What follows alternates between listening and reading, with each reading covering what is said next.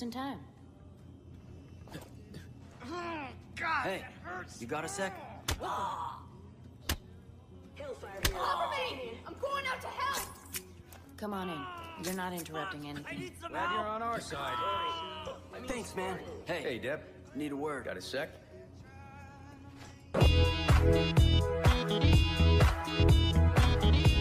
Welcome to the Disco Inferno, man. It's my special place where I can just be me. Here is where I am free to unleash my fire and mayhem in a pants-free, consequence-free environment. I have pants on now, yes, but who knows what the next half hour, 45 minutes hold. Got a sweet-ass sound system rigged for 110 decibels of the hottest music ever created. Every time I crank it up, man, those dipshit cult angels, they just come running, and I can't tell if they love it or hate it, but I'm telling you, it sure is fun to melt their faces off. And don't worry, man, the angels, they's already brain dead. I'm just giving them a glorious send-off to disco heaven, man. You wanna help? We don't even have to wear pants or nothing.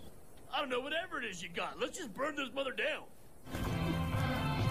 Burn, baby, burn! Disco Inferno! Burn, baby, burn! I used to dream about doing this at a Grateful Dead concert.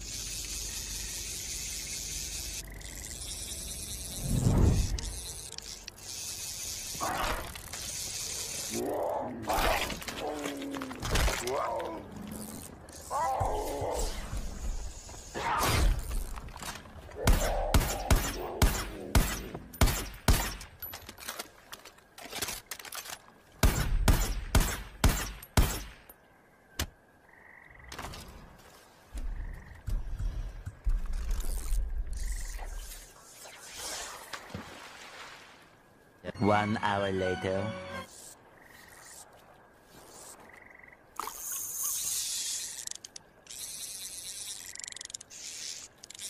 Two hours later. Three hours later. Can you move it along? I'm all out of time cards.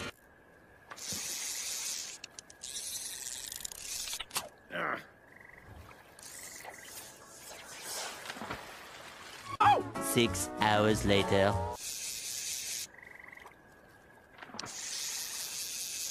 So much later that the old narrator got tired of waiting and they had to hire a new one.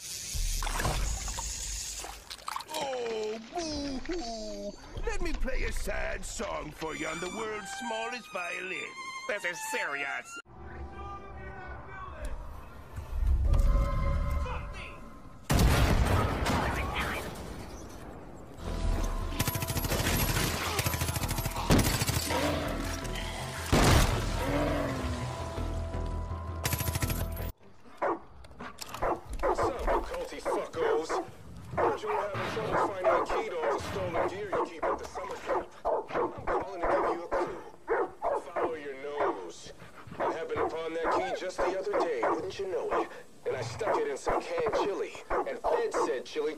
Dogs that you stole. Have fun pawing through that spicy dog shit, you fuck-ass douche waffles.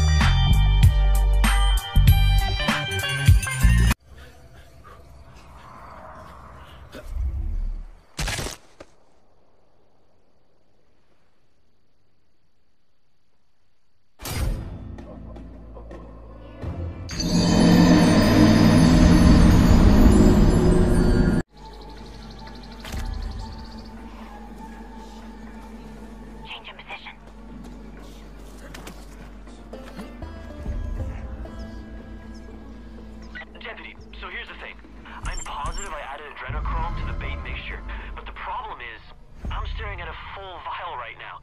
Maybe I didn't put it in. No idea how that's might affect the results. As long as you haven't put the bait down yet, we could re-examine our plan. Let me think about this for a second. Tor, and I'm here to ask you one question and one question only. Explosions! That's weird. Oh no.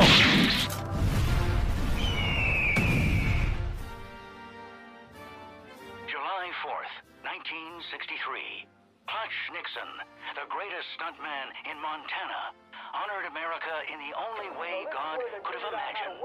Flying recklessly through a pristine river valley, firing heavy artillery attached to a civilian aircraft. Although Clutch nevertheless suffered an injury to his brow ridge that left him unable to see color. That same year, Clutch accidentally sparked a race riot at the launch party of his first volume of erotic poetry. Ironically, both the stunt and the book are named Old Glory Holes, and neither have been surpassed since that day.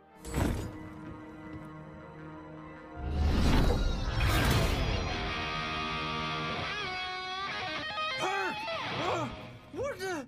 I mean. Oh man, dude, I'm so happy to see you too. Now I know what you're thinking. Where's my junk? But as important as the answer is to that question, we got bigger fish to fry. I think this story would be better told at night. No, man, it's gotta be during the day. The audience has to actually see the environment. This whole movie is a message on the environment. But the darkness at night is more ominous. I want it to be set during the day. Night. Day! Night! I'm gonna just have to put my foot down! This whole movie takes place over the course of one day! Got it? That is it! Fine. And then we cross paths with a zombie bear! I'm not surprised by that. It's supposed to be a surprise.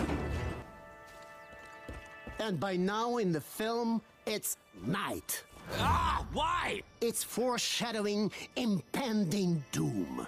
You want doom? How about adding a fucking blood dragon here to fuck them the fuck up? It was at this moment that he knew. He fucked up. Blood Dragon 3 will be a masterpiece! Seriously? It has to be. I can't go back to working on shit like Far Cry. I'd rather put my balls in a vice and listen to uh, everyone with their fucking opinions about world building and player motivation and believability. Oh, I'll kill myself, I swear to fucking God. Oh, and I wasn't kidding before. Close set. Get the fuck out of here.